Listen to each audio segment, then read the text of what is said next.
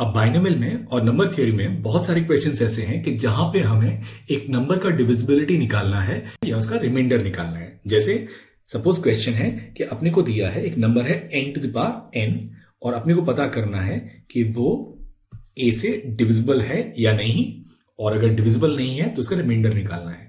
तो ये सारे केसेस में शॉर्टकट ये है कि आप ये नंबर एन को एक्सप्रेस करो कोई इंटीग्रल मल्टीपल ऑफ़ ए के जैसे जैसे सपोज़ के इंटू ए और फिर प्लस और minus R to the power N जहाँ पे ये जो आर है, वो आपका ज़ीरो से लेके ए के बीच में है। तो यहाँ पे इसका जो रिमाइंडर आएगा, वो आएगा आपका plus minus R to the power N और अगर ये रिमाइंडर ज़ीरो है तो डिविजिबल है, और अगर रिमाइंडर ज़ीरो नहीं है तो जो आपका आंसर आएगा सिंप्लीफाई होके, वो आपका रिमाइंडर है।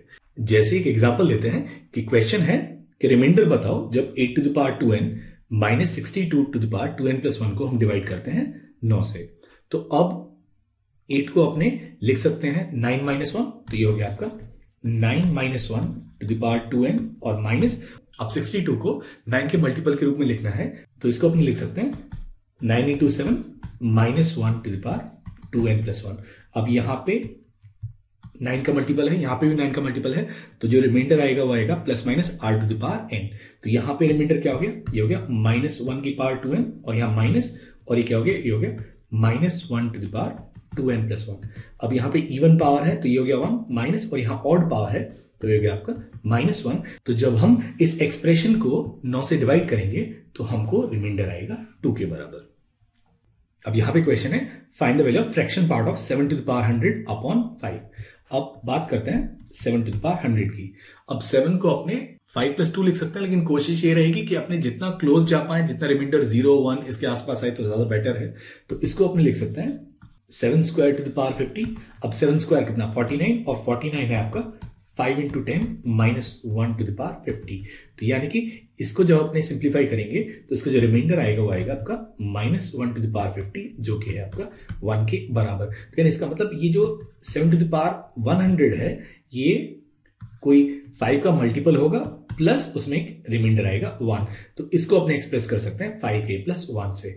तो जब हम seven to the power hundred upon five की बात करते हैं तो ये हो जाएगा आपका के प्लस वन बाई फाइव और उसका जो फ्रैक्शन पार्ट वैल्यू आएगा, वो आएगा आपका सिंपली वन बाय फाइव तो इसका जो आंसर है, वो है आपका वन बाय फाइव अब जैसे ही क्वेश्चन है कि रिमाइंडर बताइए, जब one to the power nineteen ninety seven plus two to the power nineteen ninety seven three to the power nineteen ninety seven से लेके nineteen ninety six to the power nineteen ninety seven is divided by nineteen ninety seven तो अपने क्या करते हैं? अपने इसको लिखेंगे one to the power nineteen ninety seven plus two to the power nineteen ninety seven plus three to the power 1997 और ऐसे लिखते चले जाएँगे। और ये जो पीछे से टर्म्स हैं, ये 1996 को अपने लिखेंगे। 1997 minus one to the power 1997 इसको अपने लिखेंगे। 1997 minus two to the power 1997 और ऐसे लिखते चले जाएँगे। तो ये हो गया आपका one to the power 1997 two to the power 1997 और यहाँ पे क्या रिमाइंडर आएगा? यहाँ पे रिमाइंडर आएगा। Minus two to the power 1997 यहाँ पे आएगा आपका minus one to the power क्योंकि ऑड पावर है तो ये कैंसिल हो गया, ये कैंसिल हो गया, और क्योंकि इसमें नंबर ऑफ़ टर्म्स इवन है तो सारे टर्म्स एक दूसरे को कैंसिल कर देंगे तो ये आपका रिमाइंडर आएगा ज़ीरो के बराबर। तो जब हम इस एक्सप्रेशन को 1997 से डिवाइड करेंगे तो इसका रिमाइंडर ज़ीरो आएगा। अब जैसे इक्वेशन है प्रूव करो। 11 to the power n plus two plus 12 to the power two n plus one is divisible by 133 अब अपने क्या करते हैं? अपने इसको लिखेंगे। 11 square 121 twenty one into eleven to the power n और plus 12 into twelve to the power two n. और 12 स्क्वायर जो है, वो जाएगा आपका 144 forty four to the power n. अब ये आपका 121 11 टू दावर एन प्लस 12 और 144 को हम लिखेंगे। 133 प्लस 11 टू दावर एन अब जब इस सेकंड एक्सप्रेशन को 133 से डिवाइड करेंगे तो यहाँ पे रिमाइंडर आएगा आपका 12 into eleven to the power n तो इसको अपने लिखेंगे 121 11 टू दावर एन और plus 12 into eleven to the power n अब यहाँ पे इसको ले लिया तो ये कितना आएगा? 133 into eleven to the power N तो यानी कि इन दोनों का जो कंबाइंड रिमाइंडर आएगा, वो 133 से डिविजल होगा। यानी कि पूरा का पूरा एक्सप्रेशन आपका 133 से डिवाइड होगा।